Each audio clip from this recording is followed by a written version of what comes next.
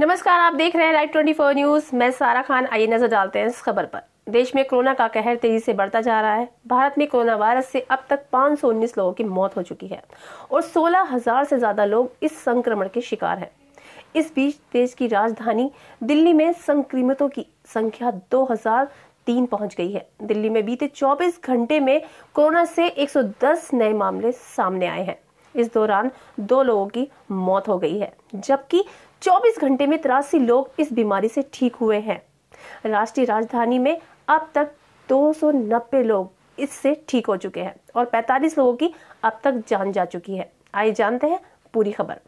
दिल्ली में अभी लॉकडाउन में कोई छूट नहीं, इससे पहले दिल्ली के मुख्यमंत्री अरविंद केजरीवाल ने रविवार को कहा, दिल्ली में अभी लॉकडाउन में कोई ढील नहीं दी जाएगी।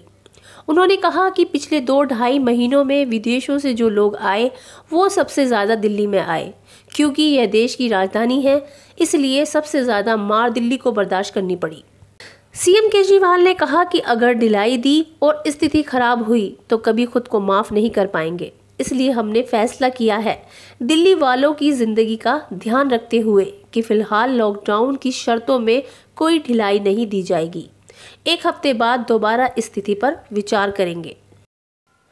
मुख्यमंत्री केजरीवाल ने डिजिटल प्रेस कॉन्फ्रेंस में कहा कि केंद्र सरकार का कहना है कि जो हॉट स्पॉट है, उनमें फ़िलहाल ढील नहीं दी जानी चाहिए, क्योंकि वहाँ पर स्थिति खराब है। दिल्ली में 11 ज़िले हैं और सभी 11 ज़िले हॉट स्पॉट घोषित हैं। हमने टेस्ट बढ़ाए हैं, मामले में बढ़ोतरी हुई है। केंद्र सरकार के मुताबिक सभी हॉट स्पॉट जोन में ढील नहीं दी जा सकती। पिछले कुछ दिनों में कोरोना के मामलों में बढ़ोतरी होनी शुरू हुई है। लगातार अपडेट रहने के लिए बने रहिए राइट 24 न्यूज़ के साथ और हमारे चैनल को शेयर और सब्सक्राइब करना ना भूलें। धन्यवाद।